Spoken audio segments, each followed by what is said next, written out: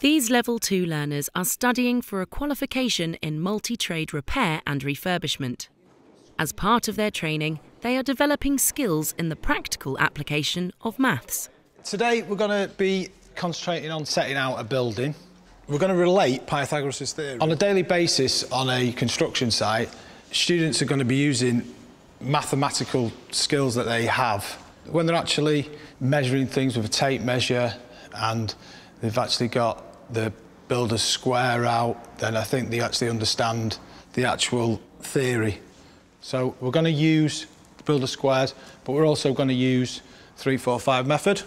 Okay, so from the corner, yeah, corner of a building, okay? How do I know that's a 90 degree angle? I don't, I don't know yet. Today they're going to be doing practical skills that are related to Pythagoras. If you're a bricklayer, you'll be setting out um, a building and you need to know that all the corners of the building are at a right angle. So we're going to be checking that We build the squares and then they're going to take them tools away and we're going to um, get them to use the 345 method. If that to that there The now, learners are introduced to the mathematical principle that any triangle where the sides are in the ratio of 3 to 4 to 5 is a right angled triangle, and that this principle can be used to ensure that walls meet at right angles. So, yeah, that's right. So one side's three foot.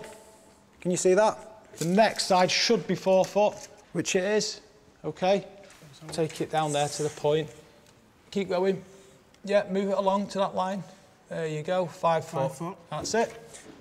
Do it with the builder squares first. To apply this principle in practice, the learners now have to build four walls for the base of an imaginary house. They do this using the builder's square. Now the learners have to check that the walls are at right angles to one another by using the 3 4 5 method. Three foot. You're going to go out three foot. That's fine. Okay. Put your mark on top of the block. Top of the block. Bring the tape up so you can get an exact measurement. That's right. Yeah. We need to be exact in construction. Okay. Be, be exact right on it. Yeah. Okay. Yeah. That's right. And then let's have a look over here. If it's slightly out, we can adjust it. Yeah, that's okay. We'll just make sure. There we go. Yeah. Instead of doing feet and inches, I want you to do it in centimetres or millimetres, the 345 method. But I don't want you to do it three, four, five. I want you to do it in a multiple. I think it's good to make the construction lessons as interesting as possible so that they understand maths in a more of a practical way. It relates to maths in many different ways because obviously you need to measure shapes in this course to get the angles right. We don't try and force it on them and we, we feel that it helps them understand the actual procedures better.